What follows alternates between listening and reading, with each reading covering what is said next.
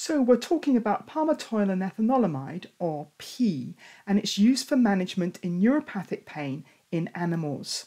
So what is this? Well, it's a long-chain fatty acid, um, which has some endocannabinoid-like actions. Uh, I've joined the molecule here, and, and uh, this uh, this black um, represents the carbon molecules of uh, the fatty acid, and this is the more active portion here. And it's a product of normal fatty acid synthesis uh, coming from palmitic acid. And you find it in many foods. Uh, the ones that are most commonly quoted are soybeans, egg yolk, and peanuts. However, if you're buying it as a nutraceutical, then it would have been manufactured usually through enzymatic synthesis from a fat um, and in particular from palm oil. And that means that if you are purchasing it, then you should be checking what the source of the oil is and make sure that if it is palm oil that you are obtaining it from a sustainable source and if you don't know how to do that then i would recommend this website here uh, which has an app that you can check the barcode now, the problem with PEA is it has very poor bioavailability, which means that it's not water soluble, which means that it doesn't get absorbed well from the gut. The forms that are better for absorption are the micronized and the ultra micronized. And so, if you are making this as a purchase, then you really should get that source. Otherwise, you it's expensive enough, but otherwise you're, you're, you're probably wasting your money and it may be useful um, uh, in neuropathic pain, but vigorous and unbiased clinical trials are yet to be performed. It's said to have anti inflammatory, analgesic, antimicrobial, and immunomodulatory and neuroprotective effects in rodent models. And in this, it's often given intraperitoneally, which means injected straight into the abdomen to be absorbed. And so, although these rodent models are very, very positive, it doesn't mean that it will work in another species that has to get it in through the gut where there is poor bioavailability. So, what sort of models is it being used on?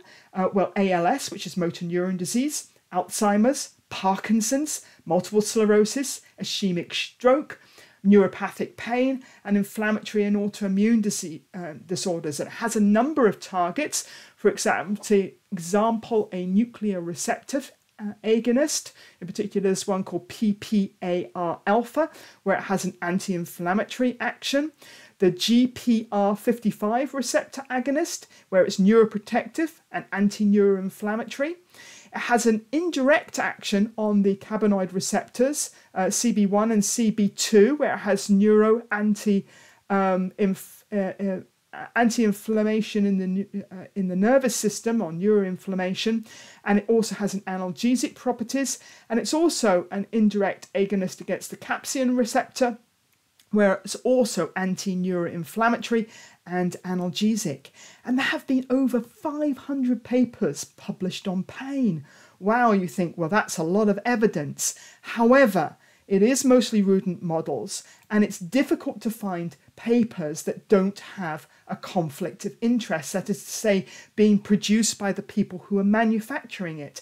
And many of those papers are underpowered uh, and uh, and uh, the most latest I could find that was a meta analysis, which means a more uh, uh, stronger analysis, more vigorous analysis, where there wasn't a conflict of interest, had this conclusion that there, that we really need more adequately powered, so more numbers, better randomized uh, studies, double-blind studies, and clinical trials need really to um, decide whether or not this is a useful add on therapy. And it, it should be said that it's an add on therapy. Nobody's saying that this is going to replace those hard hitting drugs like gabapentin and pregabalin.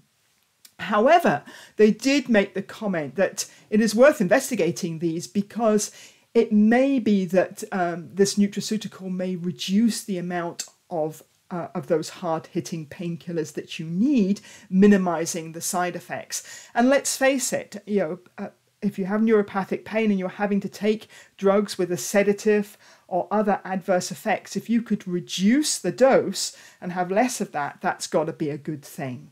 So, what studies are there in veterinary medicine? Well, this cartoon of a tumbleweed is really representing that. There are no clinical studies published as scientific articles. Yeah, yeah, you can find an awful lot uh, of YouTube articles and stuff on the internet, and it bothers me that that is often being pushed by people who are actually selling the drug. And they're using very unscientific parameters uh, for assessing whether something's effective. For example, there was one that said that the dogs had less tears. Well, dogs don't uh, cry for emotional reasons. Uh, there is one study on atopy in dogs, uh, but nothing on pain or neurodegenerative disease. So I would compel you to look at the evidence of this carefully. However, there was a very nice review paper. It does have a conflict of interest. It's been produced by Innovet, uh, which is a supplier for Ultra Micro PEA. So you have to take uh, that into context that they um, uh, may well be writing this review paper uh, to kind of set up, in fact, they say as a foundation for the scientific and rational use of this. But they also say in their conclusion, quite rightly, that clinical studies in veterinary patients are warranted. And I'm kind of hoping this is the first um, uh, foundation paper and they're going to come up with a, a, a, a, a review paper with a nice double blind uh, powered study um, that I can add to this uh, presentation. If you're looking for dose, um, well, because there's no studies, then the dose uh, is a little bit arbitrary. Um, but the atopy study that I mentioned had um, micro PEA dosed at 10 to 15 milligrams per kilogram per day, and it has been recommended for osteoarthritis at 24 milligrams per kilogram per day. So watch this space, and I will update it when we get more information.